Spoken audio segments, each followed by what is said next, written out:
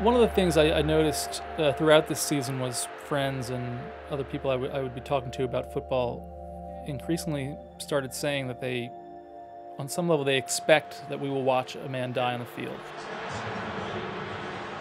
Right now, these hits, a lot of the times they, they end up with with the guy getting carted off on a stretcher, or maybe even he's he's down for five minutes and then he gets up and he walks and he shuffles off. and not moving much.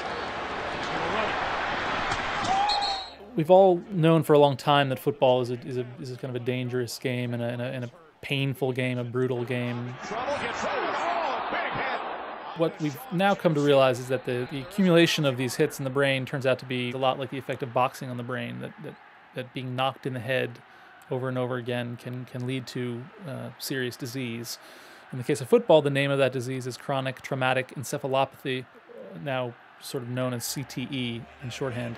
It was in early December. I was watching the Steelers Ravens game. There was a passing play to Heath Miller, who was the tight end for the Steelers. As he was on his way down, a defender came by and, and looked like he took his head off. What struck me about it was when you watch the replay, the replays are so much more vivid now than they used to be, and you know you really see how how far the neck bends back I was in a conversation not long after it with Dr. Joseph Maroon, who is the neurosurgeon for the Pittsburgh Steelers. The point that he wanted to make was that that's that is a hit that the you know the force that it delivers to the to the whole head and and, and whipping the neck back. There's nothing that a helmet can do to protect that.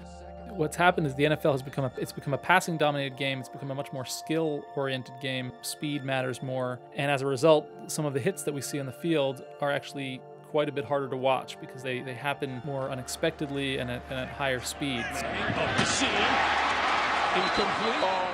Some of these wide receivers, you know, have built up 20 yards of, uh, of speed before they get uh, up at, upended. And uh, the lesson that Dr. Maroon was trying to impart was that the only way to really make football safer for a player like Heath Miller in an instance like that is to is to teach defensive players not to hit receivers that way. Chris, but it's one of those things where the receiver starts to duck down, the guy's coming in, the defender. You're going to have situations like that. I mean, no, no matter what the rules are.